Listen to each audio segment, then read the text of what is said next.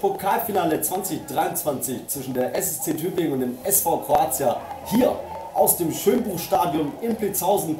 An meiner Seite heute vom Vorstand von Kroatia, Franjo Lovic. Franjo, servus. Hey, guten Tag. Danke dir erstmal, dass du es hergeschafft hast. Da kommt der Benjamin, deine Ablöse sozusagen. Meine Ablöse, genau, genau richtig. Benny, alles klar? Hi, grüß dich. Benny, servus, hi. Grüß dich, hi. Hallo, Herr Langner. Servus, hi. So, du hast den ähm, dezenten Vorbericht verpasst, ist aber gar nicht so schlimm, du wurdest gut ersetzt in der Zeit. Davon gehe ich aus, ja? Ja, Alles gut. absolut. So, So. jetzt geht's los. Partie fängt an.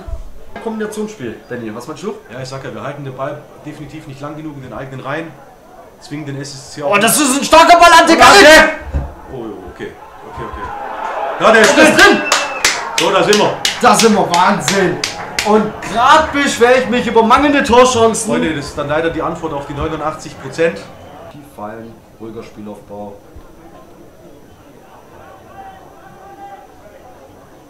Paske. Und da ist er. SC Tübingen, ah, jetzt nochmal guter Ball. Pascolo kann er sich auf den rechten legen. Und Galic! Ja. Ey, er ist so gefährlich. Jetzt sind wir jetzt wieder toller Zweikampf. Jetzt wird auch ein bisschen gezaubert. Ball in die Schnittstelle. War es faul? Klingelt, da? 2-0. Ah, der geht knapp drüber, sag ich ehrlich. Sag Mario, mach den. Mario Er schießt ihn nicht. Stark Gut gehalten von Hornberger. Wieder guter Ball. Das ist Galic rüber zu Sammy.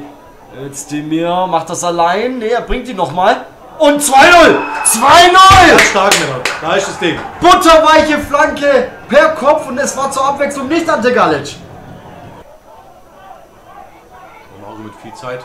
Koko zurück auf Mario. Und das ist leichtsinnig. Das, und Koko ist da. Ah, Riesending für SSC und die muss man bestrafen.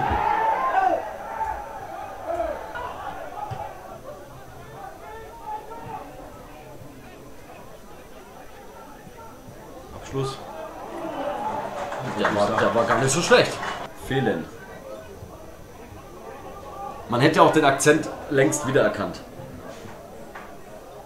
Onkel Luca klärt auf, danke an der Stelle. Ne, der kann heute nicht. Und oh, Riesending SSC. Jetzt habe ich nicht aufgepasst. Ja?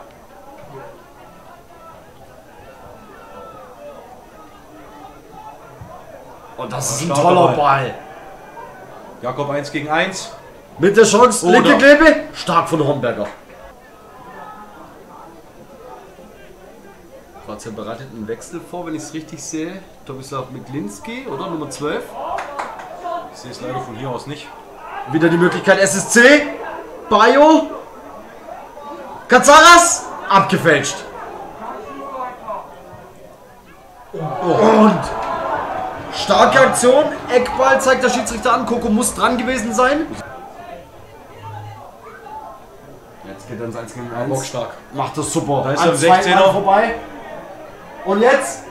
Und Ja! Ding drin! Da ist das Ding! Wahnsinn! Tolle Einzelaktion von Kevin Nicolacci und ja, da ist das Trikot weg. Oh, toller Ball! Aber da ist er. Ganz entscheidend. Ante Djakovic. Ne? Nee, oder?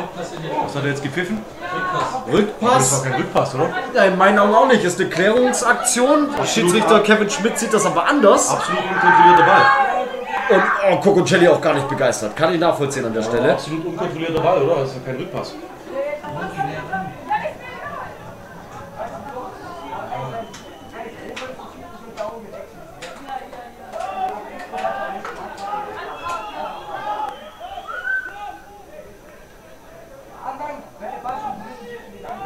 Ah, Cococelli. Ist das Ding drin?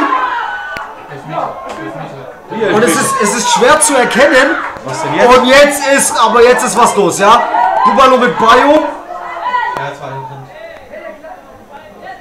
Es soll ein Handspiel gewesen sein von einem Kroatia-Spieler. Und jetzt gibt es den Platzverweis für.